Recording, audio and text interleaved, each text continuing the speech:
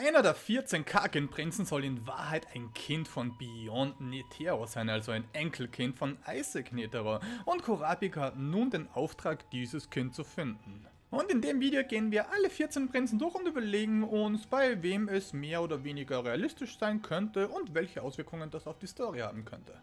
Prinz 1 Benjamin können wir direkt abhaken, weil Long Hee in Kapitel 401 selbst gesagt hat, dass Benjamin nicht das Kind sei, weil Benjamin als erstes Kind vermutlich diesen Sonderstatus hat und es klar ist, dass dieses Kind von Nasubi selbst sein muss.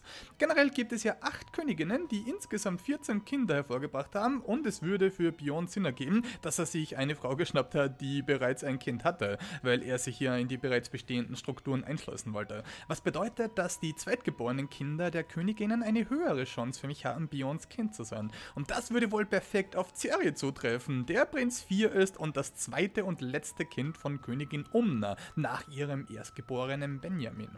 Ja, Ceri gilt wohl als ziemlich großer Favorit, weil es storytechnisch, denke ich, wirklich am interessantesten wäre, da der Typ jetzt bereits Kultstatus erreicht hat und durch diesen Reveal noch legendärer werden würde. Es würde halt so viel erklären, wie zum Beispiel sein unglaubliches Nennpotenzial. Er ist immerhin einer der größten Nenngenies, das wir in ganz Hunter Hunter je gesehen haben. Außerdem stelle ich mir eine Konfrontation zwischen ihm und Beyond auch interessant vor. Ich gehe nämlich davon aus, dass dieses Kind auch von Beyond benutzt wird und nicht über seinen wahren Vater Bescheid weiß. Und ein Charakter wie Ceri auf einen Charakter wie Beyond treffen zu lassen, stelle ich mir wirklich interessant vor. Zumal Ceri mit seiner Nennfähigkeit Beyond ziemlich bald übertreffen könnte. Also ja, bei jedem anderen Manga würde ich eigentlich sagen, dass Ceri hundertprozentig das Kind ist, weil es die spannendste Wahl für die Story ist. Aber es ist ja im Hunter Hunter und Togashi macht oft Dinge, die nicht die spannendste Wahl für die Story ist, weshalb ich mir durchaus vorstellen kann, dass es am Ende jemand ganz anderes ist. Vielleicht sogar jemand komplett Unscheinbares. Prinz 3 Zhang Le, Prinz 6 Tyson und Prinz 8 Sale Sale schließe ich dabei aber aus, denn die sind einerseits allesamt Einzelkinder von nur einer Königin. Und naja, Sale Sale ist auch schon tot und Dyson ist auch ein Prinz mit einer echt weirden Persönlichkeit, von der ich wirklich nicht glaube, dass die was mit Beyond zu tun haben könnte. Song Lee ist da bereits schon interessant, aber der kommt mir fast schon wieder zu besonnen vor, um ein Kind von Beyond zu sein. Da fehlt mir irgendwie diese Verrücktheit der Neterogene, wenn ihr versteht, was ich meine. Aber ja, von all den Einzelkindern würde ich ihn noch am ehesten verdächtigen, vor allem da er schon eine Allianz zu Kurapika hat und das auch durchaus noch interessant werden könnte. Aber ja, wie ich in meiner Review bereits gesagt habe, glaube ich bei ihm ja sogar eher, dass der illegale Halbbruder von Nasubi und Chef einer Mafia-Familie Nilong Bao sein wahrer Vater ist. Denn nun, wo wir wissen, dass Nasubi nicht der Vater von allen sein muss, kann es halt durchaus auch sein, dass es Prinzen gibt, die weder Beyond noch Nasubi als Vater haben, sondern nochmal jemand ganz anderen. Das würde halt noch mehr Komplexität hinzufügen. Und es könnte auch durchaus sein, dass die Kinder bei der Geburt vertauscht wurden oder irgendwie sowas, sodass Nasubi selbst vielleicht gar nichts davon weiß.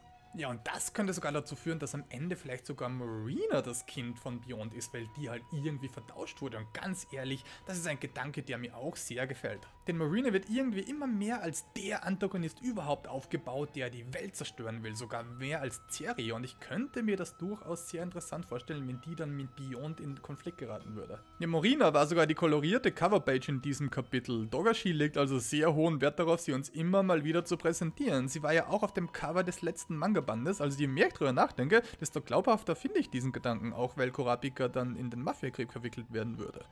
Abgesehen von Ceri und Marina gibt es jedoch noch eine dritte Möglichkeit, die ich für realistisch halte, und zwar ein Kind von der zweiten Königin Duasol. Denn die hat mit vier Kindern die mit Abstand am meisten. Und es könnte ein Hinweis darauf sein, dass sich hier ein fremdes Kind eingeschlichen hat.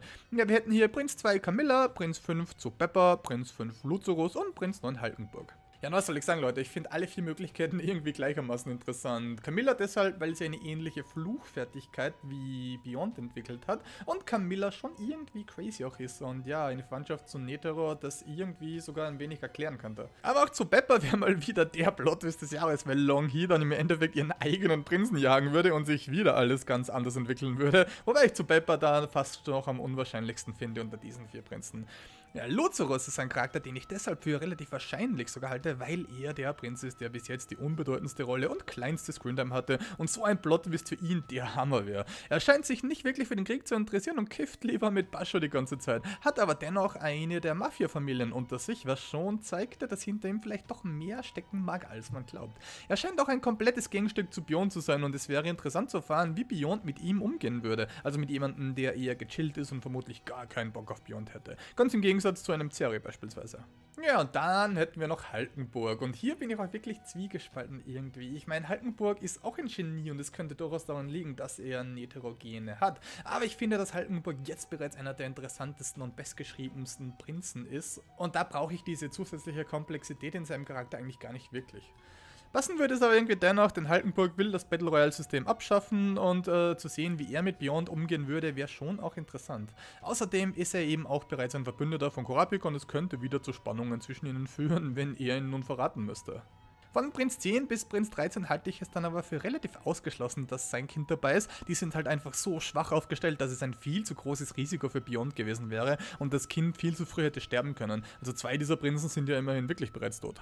Es gibt jedoch noch eine letzte Theorie, die ich für sehr spannend und wahrscheinlich halte, und zwar, dass Oito in Wahrheit ein Kind von Beyond ist, ohne dass dieses weiß. So hätte Beyond also nicht sein Kind als Thronfolger in den Krieg geschmuggelt, sondern sein Enkelkind in Form von Vobel, was dann auch das Urenkelkind von Isaac Netero wäre. Und er hätte es bestimmt irgendwie auch so tricksen können, dass Vobel genau kurz vor der Reise auf die Welt kommt. Und wer weiß schon, vielleicht ist es auch wirklich sein Kind und er hat es irgendwie mit Oitos Kind vertauschen können oder sie manipuliert oder was auch auch immer. Mit Nennen gäbe es da ja genug Möglichkeiten. Also diese Theorie halte ich deshalb für mega spannend, denn dann hätte er ein Baby, das er quasi noch komplett frei manipulieren und formen kann. Und vielleicht beherrscht das Baby auch schon Nennen, weil Beyond irgendwas mit ihm angestellt hat. Es gibt ja immer noch diese ungeklärte schwarze Wolke, die von Vobel bei der Beginn der Reise ausgegangen ist. Und das könnte auch den Angriff des Silent Majority Typen erklären, der direkt Gefahren für Vobel beseitigen wollte, indem er alle Kakinwachen getötet hat. Und es würde sogar erklären, warum Beyond drei seiner Leute bei Wobble stationiert hat, also Bill und die beiden anderen Hunter, die bereits getötet worden sind. Am Ende ist es vielleicht nicht mal ein Zufall, dass Kurapika bei Wobble gelandet ist und selbst Kurapika wird die ganze Zeit bereits von Beyond benutzt. Und es wäre auch deshalb so ein krasser Twist, weil Beyond dann quasi seit Tag 1 des Arcs seine Finger im Spiel gehabt hätte. Eigentlich ist es erstaunlich, wie viele Puzzlestücke diese Theorie erfolgreich miteinander verbindet. Und deshalb ist es auch in Wahrheit mein Favorit zurzeit. Es würde auch sehr viel Spannung für die zukünftige Story bringen, wenn Kurapika dann erfährt, dass er die ganze Zeit nach Vobel gesucht hat und in Wahrheit Beyonds Kind oder Enkelkind all die Zeit selbst beschützt hat. Außerdem wäre es auch dann spannend zu sehen, wie er Longhee das beibringen würde, ohne seinen Vertrag zu verletzen. Also ja, eigentlich bin ich mir zu 90% sicher, dass Vobel die Person ist, die Kurapika und Longhee suchen. Es würde schlussendlich sogar klären, warum Wobbles Wachen alle getötet wurden, ohne dass sich ein Fluch aktiviert hat, weil Beyond bei seinem eigenen Prinzenkind slash Enkel natürlich kein Fluchkind platziert hat. Wobei danach in absteigender Reihenfolge auch noch Marina, Luzurus, Ceri, Haltenburg oder zu Pepper für mich in Frage kommen. Beyond wollte am Ende des Kapitels ja mit einer Person sprechen und vielleicht wird das sogar Kurapika sein, den er einweihen wird, oder auch Bill und wir erfahren dazu im nächsten Kapitel bereits mehr. Aber was denkt ihr? Wen haltet ihr am wahrscheinlichsten oder habt ihr vielleicht noch ganz andere Theorien? Lasst uns gerne in den Kommentaren diskutieren und ich bin schon echt gespannt, wie es weitergehen wird. Okay, tschüss.